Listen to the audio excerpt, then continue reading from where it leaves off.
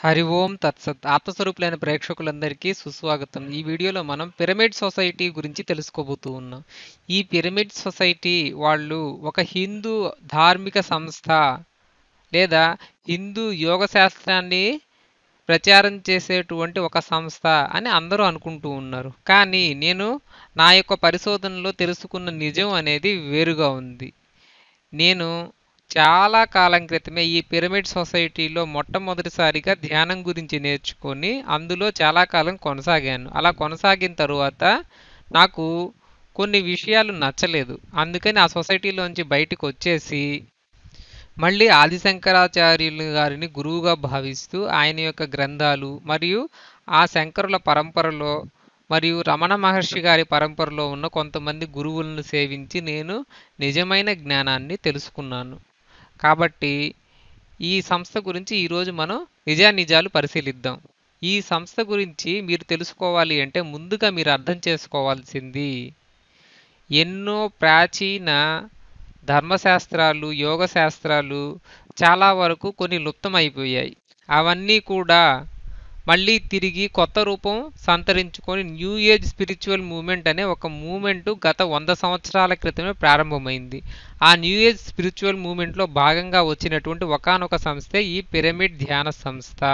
ఈ పిరమిడ్ సంస్థ పేరే PSSM pyramid spiritual society movement ఈ పిఎస్ఎస్ఎం అనే దాంట్లో మీరు అనుకుంటున్నట్టు హిందూ ధర్మానికి హిందూ శాస్త్రాలకి సంబంధించినవి ఏమీ లేవు. ఇది ఒక ప్రచ్ఛన్న బౌద్ధ సంస్థ. భారతదేశంలో అంతరించిపోయింది అనుకుంటున్నటువంటి ఈ బౌద్ధ మతం నిజంగా అంతరించిపోలేదు. తిరిగి కొత్త కొత్త పేర్లతో కొత్త కొత్త రూపాల్లో మళ్ళీ మళ్ళీ లేస్తూనే ఉందన్నమాట. అలాంటి అంతరించిపోయిందనుకున్న బౌద్ధ మతం ఇలా ఒకనొక రూపంలో పిరమిడ్ సొసైటీ మూమెంట్గా మళ్ళీ మైండ్ఫుల్నెస్గా ఇంకా ఒక ధ్యానం ఉంది. నాగార్జున నాగార్జున సాగర్ దగ్గర ఒక సంస్థ ఉంది. వాళ్ళు కూడా ఇలాగ ఒక ధ్యానాన్ని నేర్పిస్తారు. కాబట్టి వాళ్ళది కూడా బౌద్ధ మతం యొక్క ఒకనొక సంస్థే. కానీ ఈ వాళ్ళు మాత్రం మాది బౌద్ధ మతమే అని వాళ్ళు బహిరంగంగా చెప్పుకుంటున్నప్పటికీ పిరమిడ్ సంస్థ మాత్రం మేము బౌద్ధ ధర్మాన్ని ఆచరిస్తున్నాము మాది బౌద్ధ మత సంస్థ అని డైరెక్ట్గా చెప్పుకోకుండా హిందూ శాస్త్రాలను హిందూ దేవుళ్ళను వాళ్ళు కోట్ చేస్తూ హిందువులను ఆకర్షించడానికి దాన్ని హిందూ మత సంస్థగా ముసుగు వేసి ప్రచారం చేస్తున్నారు. ఇది ఒక్కటే నా యొక్క మెయిన్ అబ్జెక్షన్.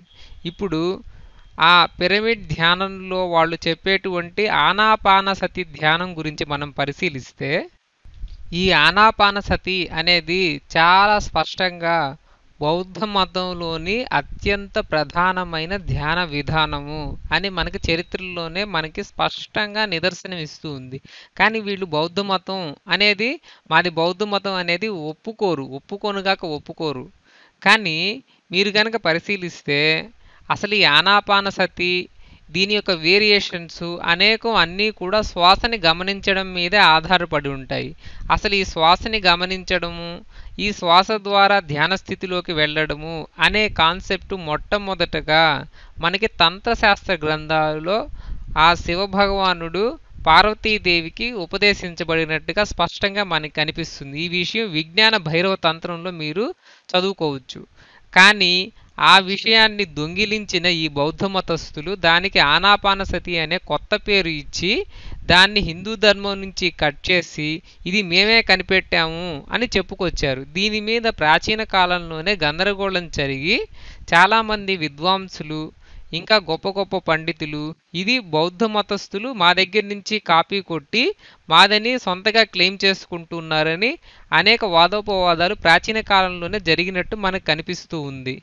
ఇప్పటికీ ఈ బౌద్ధ మతస్థులు హిందూ యోగ శాస్త్రంలోని తంత్రశాస్త్రంలోని ఇంకా హిందూ గ్రంథాలు ఉపనిషత్తులు అద్వైత సిద్ధాంతాలు ఇవన్నీ కాపీ కొట్టి అవి తమవిగా ప్రచారం చేసుకుంటూ తాము ఆ ప్రాచీన శాస్త్రాలలోని విషయాలను కాస్త వక్రీకరించి వాటికి హిందూ దేవీ దేవతలకు సంబంధం కట్ చేసి వాటిలోని మంచినంతా కూడా తాము ఉపయోగించుకుంటూ వాటి మీద తమ యొక్క ఆర్గనైజేషన్స్ని మతాలని ఫౌండేషన్ బేస్గా పెట్టుకొని హిందువులను ప్రచ్ఛన్న బౌద్ధులుగా మారుస్తూ ఉన్నారు. అది నేను చేసేటువంటి మొట్టమొదటి ఆరోపణ. ఈ సంస్థలో నాకు కనిపించింది అదొక్కటే. ఈ ధ్యానం ద్వారా మరి మంచి జరుగుతుందా అంటే ఖచ్చితంగా జరుగుతుంది. ఎందుకంటే స్వయంగా ఆ పరమశివుడే మనకి ఈ ధ్యాన విధానాన్ని ఉపదేశించాడు. విజ్ఞాన భైరవ తంత్రంలో దరిదాపు మూడు వందల రకాల ధ్యాన పద్ధతులు చెప్పబడ్డాయి. వాటన్నింటి యొక్క ఉద్దేశం ఏమిటంటే చాలా స్పష్టంగా ఆత్మజ్ఞానాన్ని పొందడమే.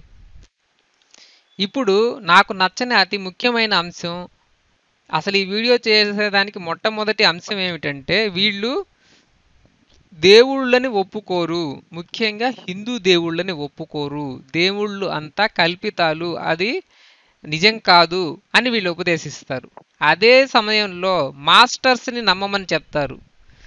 ఈ ధ్యానం చేస్తే మీకు మాస్టర్లు కనెక్ట్ అవుతారు మీకు మాస్టర్లు కనపడతారు మీకు మాస్టర్లు గైడ్ చేస్తారు మాస్టర్లు వచ్చి మీకు హీలింగ్ చేస్తారు అని చెప్తారు. మరి కనపడని మాస్టర్లు నిజమైనప్పుడు కనిపించే దేవుళ్ళు నిజం ఎందుకు కాదు? ఈ ప్రశ్నకి మీ దగ్గర సమాధానం లేదు. ఈ పిరమిడ్ సొసైటీ వాళ్ళు ఈ పిరమిడ్ ధ్యానాన్ని తామేదో కొత్తగా కనిపిన కనిపించినట్టుగా ప్రచారం చేసుకుంటున్నప్పటికీ అది నిజం కానే కాదు. ఎందుకంటే నేను చరిత్రలో పరిశీలిస్తే గత వంద సంవత్సరాల క్రితమే హెలెనా బ్లెవట్స్కి అనే ఒక రష్యన్ వనిత భారతదేశంలోకి వచ్చి ఇక్కడున్న అనేక శాస్త్రాలను పరిశీలించి ఆమె తమ సొంత కల్పితాలను సొంత పైత్యాన్నంతా కాస్త మన ధర్మ మన అద్వైత వేదాంతానికి యోగ శాస్త్రానికి కలిపి మిక్సీలో వేసి కిచిడీ చేసి థియోసఫికల్ సొసైటీ ఆఫ్ ఇండియా అనే ఒకనొక సంస్థని ప్రారంభించింది. దీని యొక్క హెడ్ క్వార్టర్స్ చెన్నైలో ఇప్పటికీ ఉంది. ఈ థియోసఫికల్ సొసైటీ వాళ్ళు అంత క్రితమే పిరమిడ్ ధ్యానాన్ని ప్రచారం చేసినట్టుగా మనకి వాళ్ళ యొక్క జర్నల్స్లో వాళ్ళ యొక్క గ్రంథాల్లో రచించబడింది. వాళ్ళు కూడా ఆనాపానసతి వంటి ధ్యాన పద్ధతిని రికమెండ్ చేసేవాళ్ళు. ఇంకా మీరు చరిత్ర పరిశీలిస్తే అరబిందో గారు ఈయన కూడా ఒక న్యూ ఏజ్ స్పిరిచువల్ మూమెంటే. థియోసఫికల్ సొసైటీతో పాటు అరబిందో కూడా న్యూ ఏజ్ స్పిరిచువల్ మూమెంటే. అరబిందో గారి మీద కూడా ఇట్లాంటి కాంట్రవర్సీలు చాలా ఉన్నాయన్నమాట. అరబిందో గారు కూడా పిరమిడ్ యొక్క శక్తి గురించి పిరమిడ్లో కాస్మిక్ ఎనర్జీ అనేది ఒకటి ఉందని దాని గురించి విధివిగా ప్రచారం చేయడమే కాకుండా ఆనాపానసతి వంటి ధ్యాన పద్ధతిని కూడా ఆయన ప్రచారం చేశారు.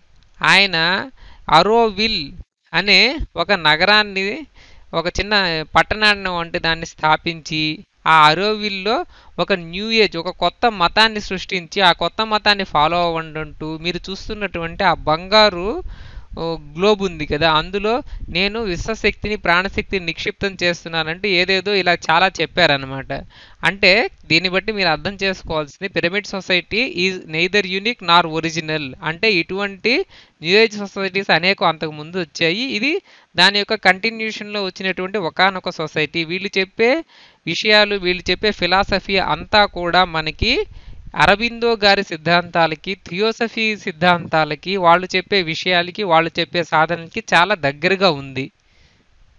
ముఖ్యంగా నేను వీళ్ళ యొక్క సంస్థలో ఖండించేది నాకు నచ్చని విషయం వీళ్ళు విగ్రహారాధనని పచ్చిగా వ్యతిరేకిస్తారు. మొట్టమొదటిగా నేను ఈ సంస్థకి ధ్యానం చేసేదానికి వెళ్ళినప్పుడు వాళ్ళకి అప్పుడు సరే సొంత మెడిటేషన్ హాల్ సొంత కార్యాలయం అనేది లేదు. అలా లేకపోవడం వల్ల ఒక దేవాలయంలో ఉన్నటువంటి ఒక హాల్ని వాళ్ళు ఉపయోగించుకునేవాళ్ళు. ఆ హాల్లోకి వెళ్ళి ధ్యానం చేసిన ప్రతిసారి కూడా ఇక్కడ ఉండే వాళ్ళంతా కూడా తెలివి తక్కువ వాళ్ళు వచ్చి విగ్రహాలకు దండాలు పెడతారు అంటూ నేరుగా దేవాలయంలోనే కూర్చొని ఆ విగ్రహారాధనను దేవుళ్ళను ఖండించేవాళ్ళు విమర్శించేవాళ్ళు. అప్పుడు నాకు పెద్దగా అంత నాలెడ్జ్ లేదు కాబట్టి నేను దాన్ని పెద్దగా పట్టించుకోకుండా కేవలం ధ్యానం చేసుకొని మాత్రం వచ్చేసాను. కానీ తర్వాత తర్వాత ఇంకొంచెం నేను పరిశీలించిన తర్వాత ధ్యాన విధానంలో కూడా వాళ్ళు స్పష్టంగా ఒక మాట యాడ్ చేస్తారు.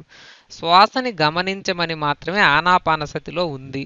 ఇంకా విజ్ఞాన భైరవ తంత్రంలో ఆ శివభగవానుడు సదాశివుడు శ్వాసని గమనించమంటూ అనేక పద్ధతులు చెప్పాడు.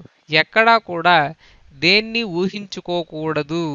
ముఖ్యంగా దేవుళ్ళను ఊహించుకోకూడదనే ఒక క్లాజ్ ఒక రూల్ అనేది ఎక్కడ కనిపించదు. కానీ ఈ పిరమిడ్ సొసైటీ వాళ్ళు ధ్యాన విధానాన్ని బోధించేటప్పుడు ముందుగా చెప్పేది ఏమిటంటే మీరు మంత్రాన్ని ఏ మంత్రాన్ని జపించకూడదు. అంటే మంత్రం భగవత్ స్వరూపం హిందూ మంత్రం హిందూ దేవునికి సంబంధించిన స్వరూపం కాబట్టి మంత్రం జపించకూడదు. తరువాత ఏ దేవీ దేవతలను ఊహించుకోకూడదు. అంటే హిందూ దేవుళ్ళు వాళ్ళకి నచ్చరు. హిందూ దేవుళ్ళు అంటే వాళ్ళకి ఇష్టం లేదు. కాబట్టి దేవీ దేవతలను ఊహించుకోకూడదని ఈ రెండు కొత్త క్లాజులు వీళ్ళు ఆనాపానసతిలో చేర్చారు. ఒరిజినల్గా బౌద్ధ ధర్మంలో ఆనాపానసతిలో ఈ రెండు కొత్త క్లాజులు లేవు. వీళ్ళు చేర్చారు. దీంట్లోనే వీళ్ళకి హిందూ దేవీ దేవ దేవ దేవతల పైన ఇంకా హిందూ ధర్మం పైన నరనరాల్లో ద్వేషం ఉంది అనే దానికి ఇది అత్యంత డైరెక్ట్ ఎవిడెన్స్. తరువాత వీళ్ళది ఒక ఏలియన్ కల్ట్గా నాకు అనిపించింది.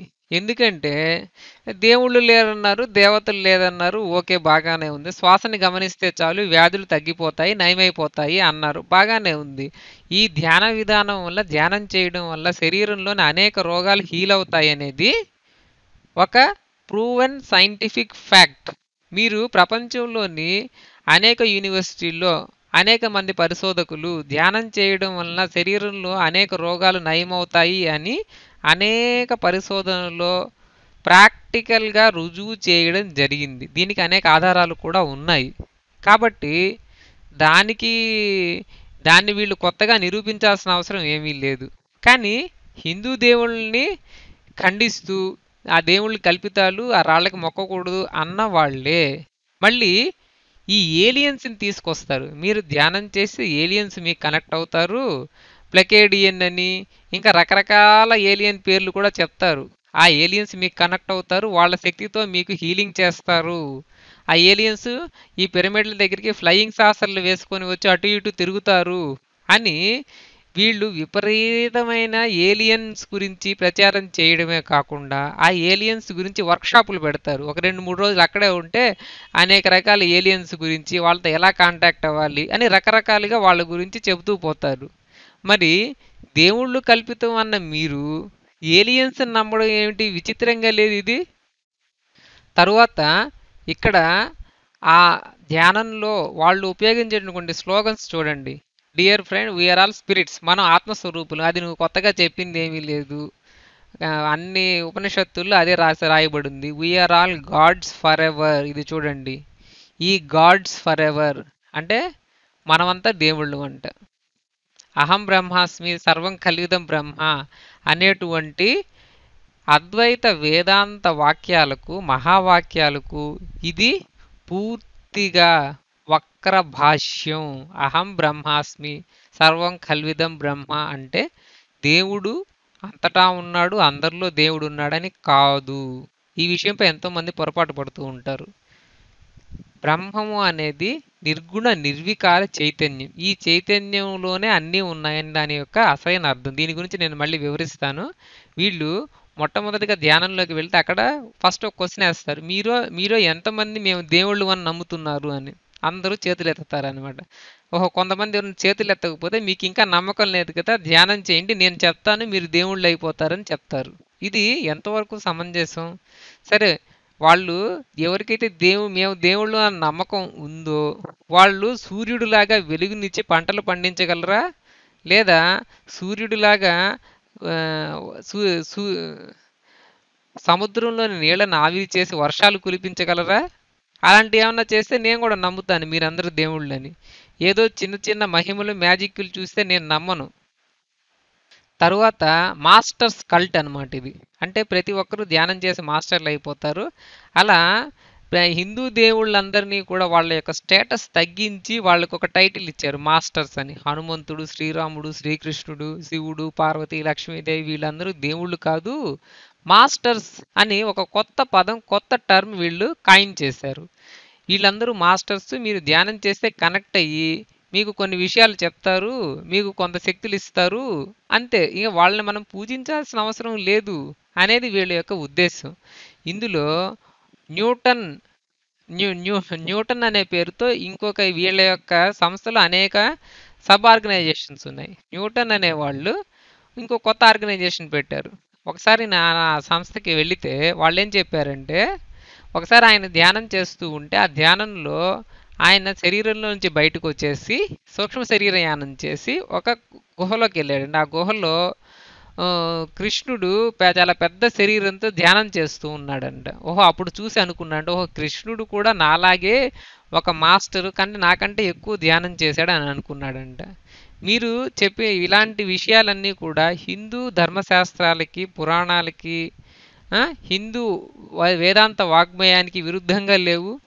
అంటే ఇందులో చేరిన వాళ్ళు ముందుగా ధ్యానం అంటే గొప్పది. ధ్యానం చేయడం వల్ల అనేక బెనిఫిట్స్ వస్తాయనే ఉద్దేశంతో చేరినప్పటికీ వాళ్ళు ధ్యానం చేసేటువంటి బెనిఫిట్స్ పొందినప్పటికీ శాశ్వతంగా వాళ్ళు వాళ్ళ యొక్క కుటుంబాలు నాస్తికులుగా మారిపోయి ప్రచ్ఛన్న బౌద్ధులుగా మారిపోయి దేవుళ్ళకి దూరం అయిపోతూ ఉన్నారు.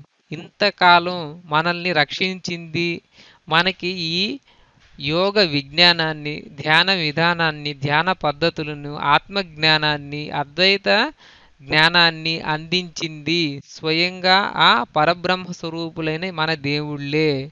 అసలు గురువు అంటే ఎవరో తెలుసా మీకు? గురువు అంటే భగవంతుడే. మీకు దేవుడి యొక్క అనేక లక్షణాలు. రక్షకుడు పోషకుడు. ఇలా దే- దయ దయ దేవుడు అంటే ప్రకాశించేవాడు వెలుగునిచ్చేవాడు సూర్యుడు దేవుడే.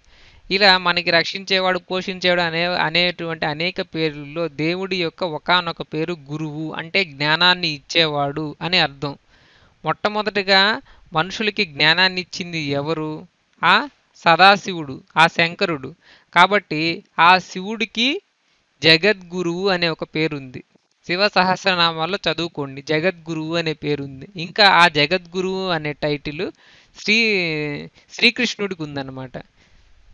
కృష్ణ కృష్ణుడు శివుడు ఒక్కటే.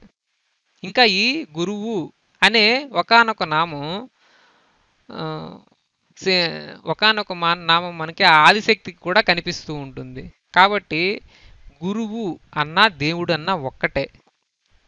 మరి దేవుళ్ళని పూజించొద్దు ఖండించ అని ఖండించే వాళ్ళు గురువులని పూజించడం మాస్టర్స్గా పిలుచుకోవడం ఎంతవరకు సమంజసం? మాస్టర్ అంటే గురువు అసలైన గురువు ఎవరు? ఆ దేవుళ్ళే. అసలైన గురువు ఆ శివుడు ఆ విష్ణువే. మరి హిందూ దేవుళ్ళందరిని ఖండించి అవి వీళ్ళందరూ కల్పితాలని చెప్పిన వాళ్ళు ఆ దేవుళ్ళు చెప్పిన యోగ శాస్త్రాన్ని ధర్మశాస్త్రాన్ని ఆ యోగ శాస్త్రం ధ్యాన విధానాన్ని ప్రచారం చేసుకుంటూ తమ మతాన్ని తమ యొక్క ఆర్గనైజేషన్ని పైకి తెచ్చుకుంటూ ఉన్నారు.